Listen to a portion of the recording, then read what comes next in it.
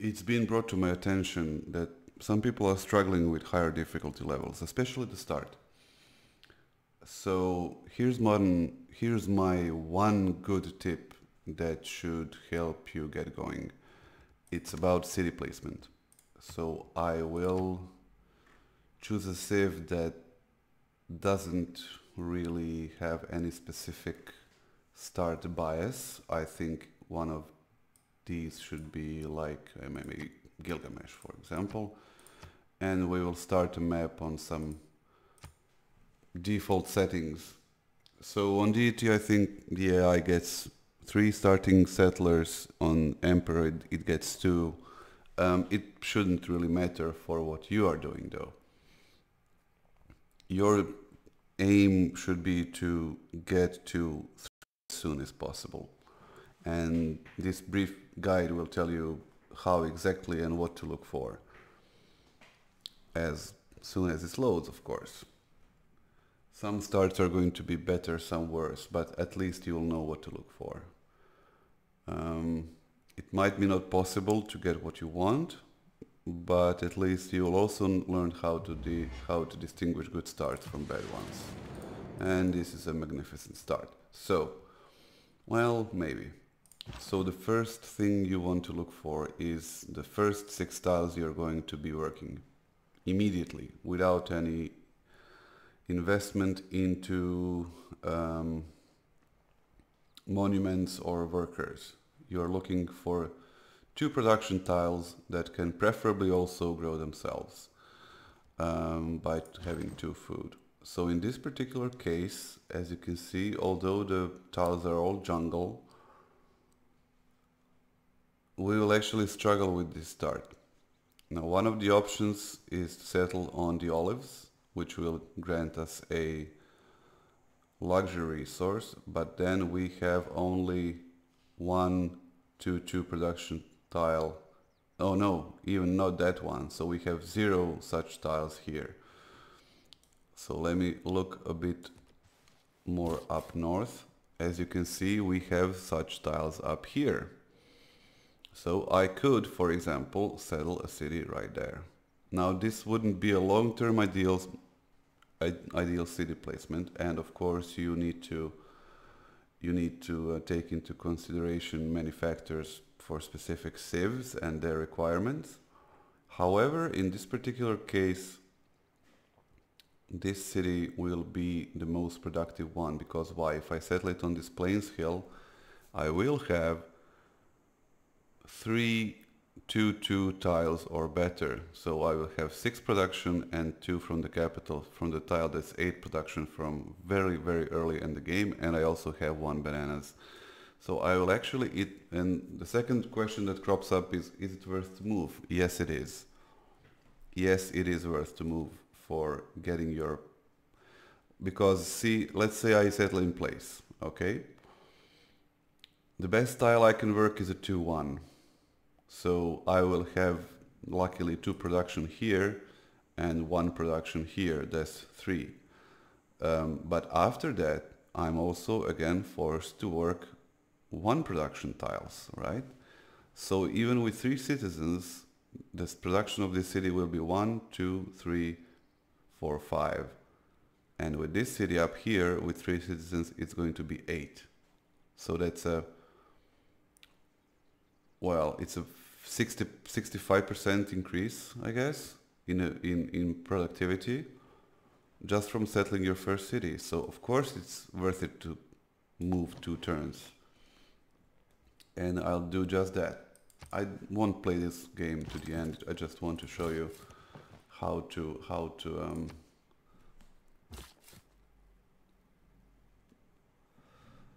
how to start it up. So okay, now I think we'll just stay here, right? And now we are working a two, a three-two tile and a two-two tile, and it's and, and, and it's for production. And as you can see, we can get a scout in five turns. Why in five turns? Well, because it's 30 production. Um, if we could have gotten one more, uh, five, no, maybe six. Oh, we, we would need six production to in any case, you'll you'll see it's going to work out. Um, so now what we are doing next is, and, and now you're free, now if you follow this logic, now you're free to actually tech up whatever you need for your, for your plan, right? If you want to go early writing, you can do that. If you want to go, I don't know, early archery, you can do that as well. If you want to go for an early religion, you can start on that too. You are not bound anymore by work returns which is extremely important. So we're going to do this without any workers uh, being involved or any monuments. So let's say, for example, I want war carts, right? Because I'm Sumeria. But let's start for the scout because that's what's most typical. And we have some good, we have some good adjacencies here. So let's start with um, actually going for for a, very very early campus here. Okay, so now we have this city covered and now what we are doing is scouting for the second city location. What we want to do with the second city is replicate what we just did and there is our first city state. What we now want to do is replicate what we just did and find our second city location as soon as possible. I doubt it is going to be up north, so I need to go south. And now we are at population 7, and we have three city good tiles to work. So what I'm going to do next is actually build another war cart and grow up to this tile here, because it will also be 2-2.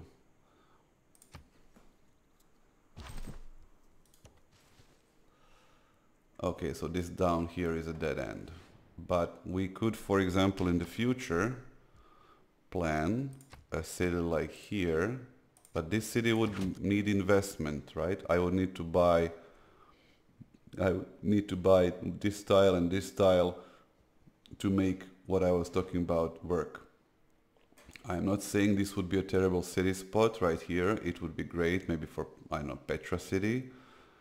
But I would need to invest like one, almost 200 gold on getting these two tiles and it's also prone to flooding. However, we do have, as Sumeria, we do have ziggurats, so this would be a pretty neat city location, but not for the second or third city. No.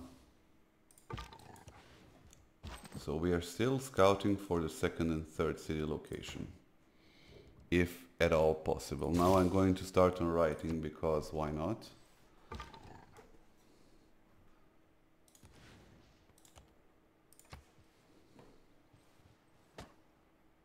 Oh. There's probably a barb camp up there.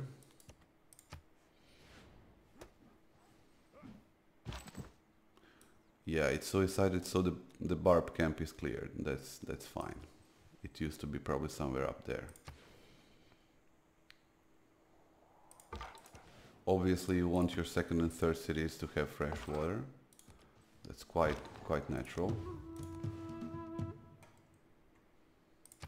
and go to war cart. Let's pull it down here. And now we can start, as you can see now we are working all our good tiles. And we even grab the fourth one, so we could even grow even further, but it would take 11 turns to do so. So I'm, for right now, I'm content that I can build a settler right now because I'm not going to profit from this tile so fast. So I'm going to go with a settler which will take 8 turns. Right, so I'm using these 8 turns to work these really really good tiles and I'm still looking for my second city location.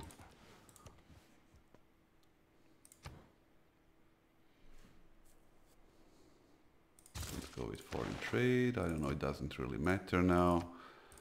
I'm just trying to showcase this and I don't see even a second. Oh, there we go. One more city-state. Okay, so this here is... Wait. Yeah, this here is our second city location. Why? Because it has two, four food, two production tiles and also one very close here. And since this is an active volcano, this tile will probably turn into a stronger tile as well. It's not ideal, but it should be, it's the best we can see right now. Maybe there's something in the north, I don't know. Quite possibly could be.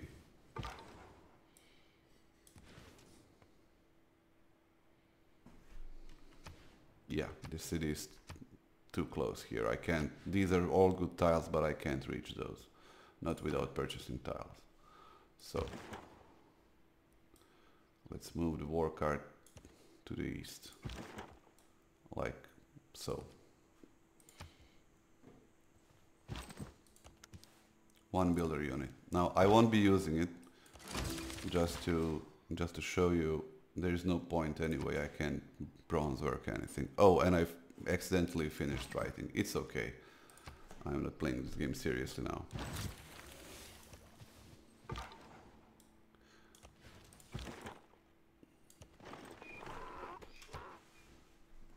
So three more turns for this settler.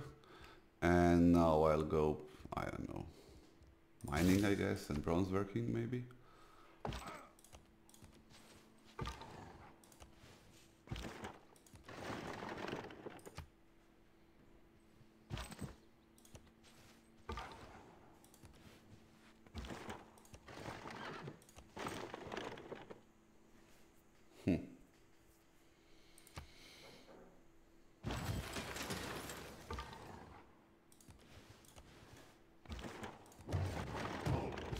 Okay, so this is our preferred second city spot. And maybe, let's see what's, what's going up here. Maybe we could settle a city like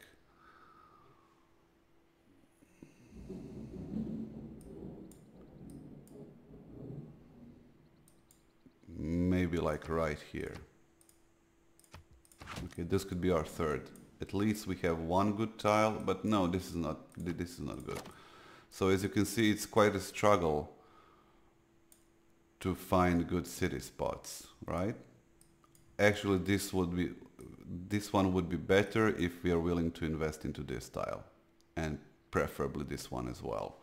So, but for now, this is definitely the ideal city. And now we are going to, we are again at three population um, and we are going to just repeat the process, I guess, right? Because why not? It's an honor to meet you. There's another city-state down there. There's India. Oh, and we got a barb camp spawning right down on us, so I need to build a war cart instead. And this is the power of good production tiles. I can get a war cart in six turns. That's not going to be possible if I settle a city on one production tiles. And let's go for, I don't know, animal husbandry, I guess.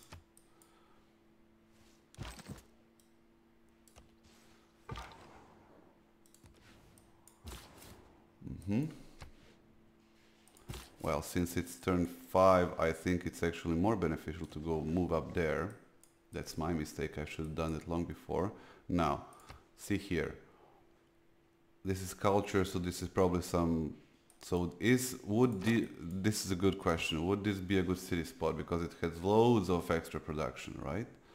Well, yes, but if you can get to food, and how will you get to food? Well, you have you have two options. Well, if you if you settle this city late, you're probably going to struggle with getting, for example, a Temple of Artemis up, although it's possible on lower difficulty levels.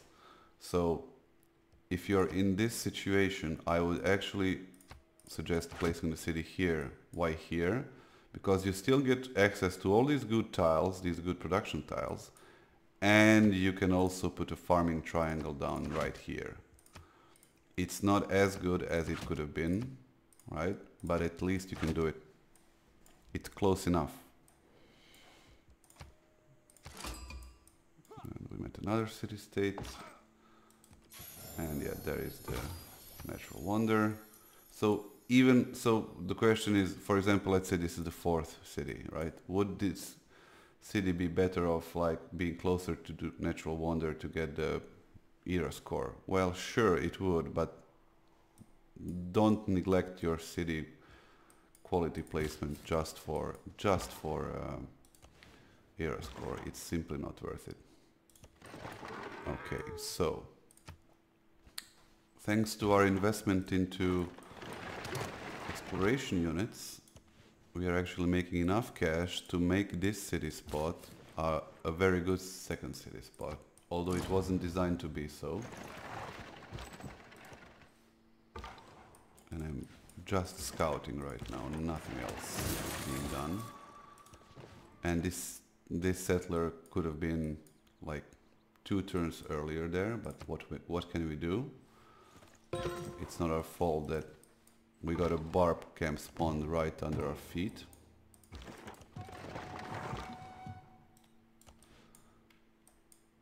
There. Second city done. And now because we have what we need, we can actually go ahead and buy these tiles, right? So now this city is as good as our capital. If we want, we can really buy this tile as well and that's it.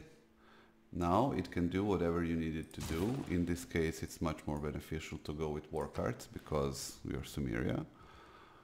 Um, let's work on, I don't know, bronze working, I guess. And craftsmanship maybe. And we have, I'll just take the first one. There we go.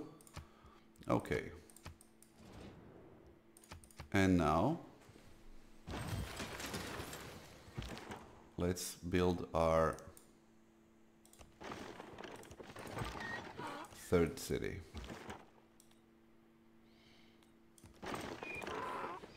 In nine turns. Okay. Mm -mm -mm.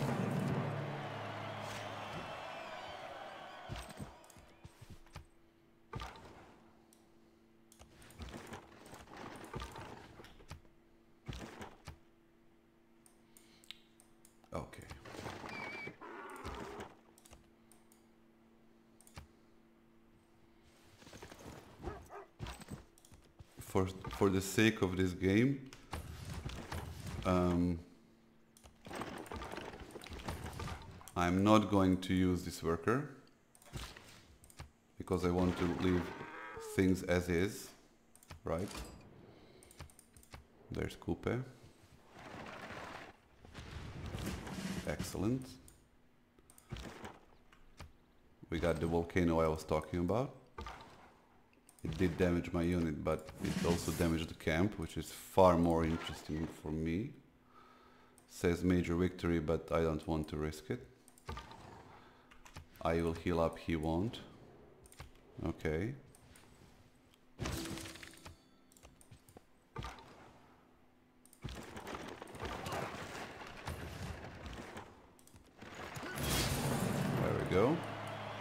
And now we got a population point, but it's not really important, right? We know why we did it. So, as you can see, our second city is working only two tiles. I didn't invest into anything, into workers or monuments. It's already cranking out war carts really quickly. And it's going to grow in six turns. And three turns till this fine gentleman gets out. And we finish bronze working. Okay. And now we have to take care of this white, this young man here.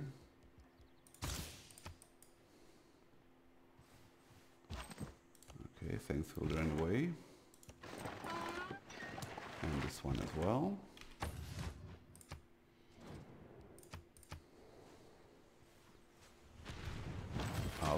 Did anyone get killed? No, not really. Oh, it's this one that exploded. Okay.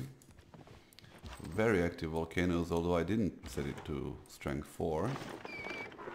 And now you have three cities which are going to be as productive or more than your capital. And yeah, now you can finally start building your campus, right? You take five turns. Why five turns? Well, because you're working awesome tiles. That's all to it, right? If you want, uh, this will grow in three turns to pop three, and I'll actually, well, I got lucky with stuff like this right here, but this is a random game, you saw it for yourself, so um, I'm going to move down there. And hopefully um, the city-state won't block my placement.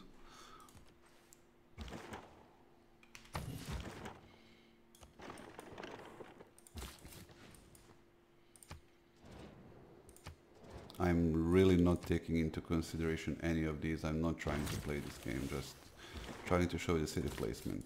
Okay, two more turns, right? And uh, astrology, whatever. No. There we go. So, I might, I also forgot to switch off from craftsmanship, that's fine. Okay, so it's turn, it's turn 42. And I got three cities. And as you can see,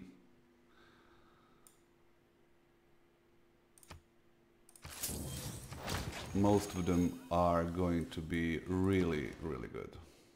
Hmm? We can eat it also buy this tile because why not? Okay, so now you have three cities. And what's your total production without even investing into worker turn, right? It's two, four, five, six, seven, 8, 9, 10, 11, 12, 13, 14, 15, 16, 17, 18, 19, 20, 21, 22, 23, 24, 25, 26. So these cities can, to in total, they can produce 26 production between themselves. Now imagine if I settle this, this city here, for example, and here but without purchasing these tiles, right? I would have three total production instead of two, four, six, seven. And the same is true here. I would have two production at start and then three production or maybe I would work this style but I would be struggling. This way I'm growing and having awesome production. And that's the whole trick right? Because now I can do whatever I want. I can crank out a campus in 12 turns. If I, if, if I improve this, I'm going to get it down to 10, right? So what am I doing? I'm getting whatever I need really quickly. And it's turn 42. So now I can, if I want to, I can build war carts in six turns. I can build war carts in five turns, all right? Uh, this city will soon grow also because it's even growing even faster. So this city will also be able to produce war carts in six turns very, very soon. So in like 20, 24 turns, I'll have an army of war carts. And by turn 100, this civ here, whichever it is, will get conquered. Um, so yeah, this is how you start on higher difficulty levels. You look for perfect city locations for the first three cities. Thank you for watching.